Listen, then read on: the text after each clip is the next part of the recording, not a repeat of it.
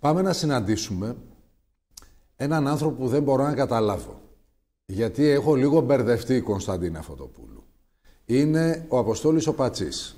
Είναι φοιτητής στους πολιτικούς μηχανικούς, είναι τριτοετής στο Πανεπιστήμιο Θεσσαλίας και δεν έχω καταλάβει, θα μας τα πεις ε, Απόστολε, είσαι πολύ νέος γι' αυτό σου απευθύνομαι στον Ενικό σε λίγο, αν έγραψες εσύ αυτό το βιβλίο ή το έγραψε ένα πρόγραμμα τεχνητής νοημοσύνης.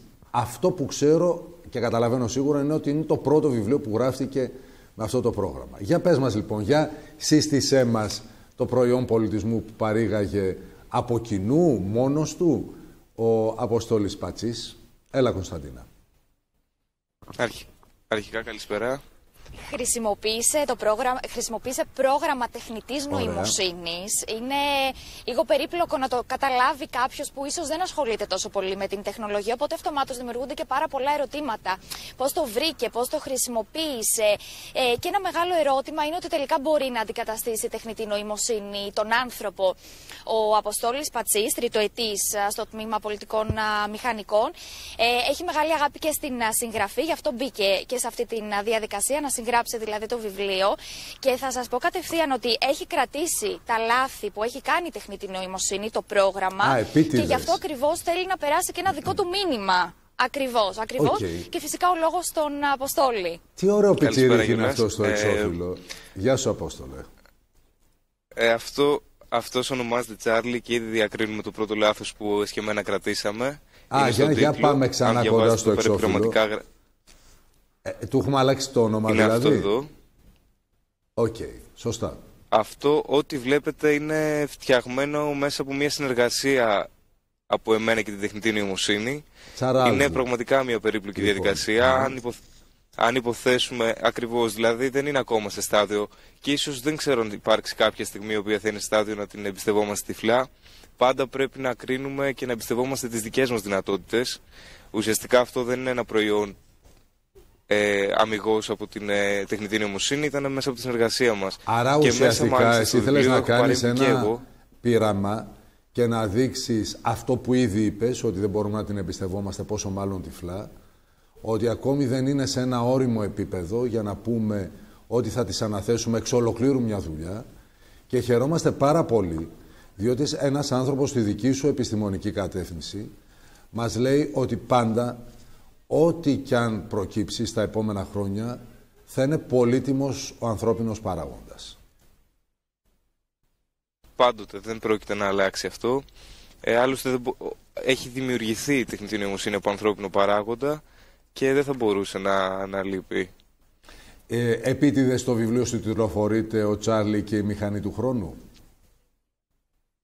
Θα να πω στον άξονα ε, που ήδη ναι, συζητούμε και, και περιγράφουμε ε, τιτλοφορήθηκε έτσι το βιβλίο; Ε,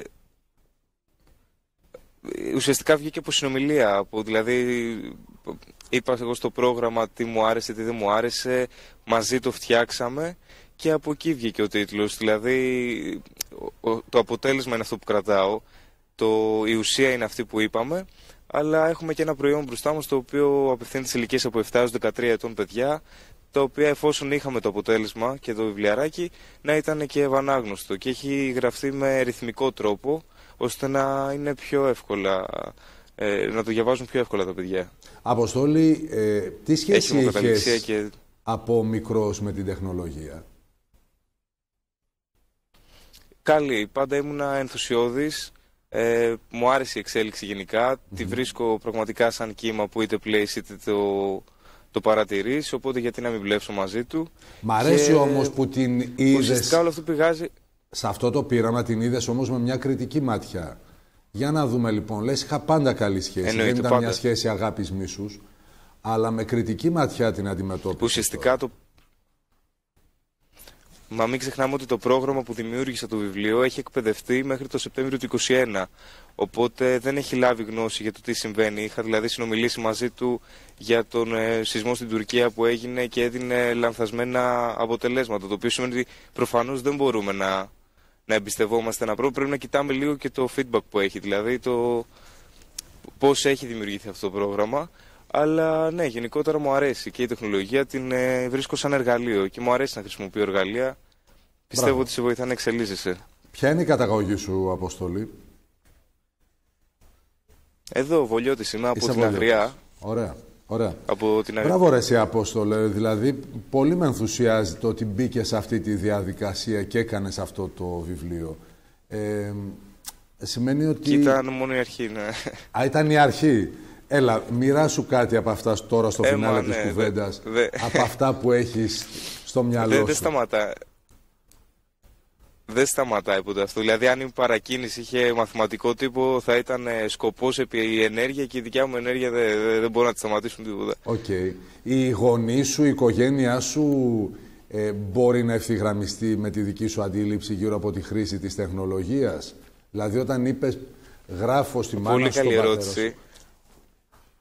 Κοίτα, να σου πω, εγώ δηλώνω ναι, αναλφάβητος ε, τεχνολογικά.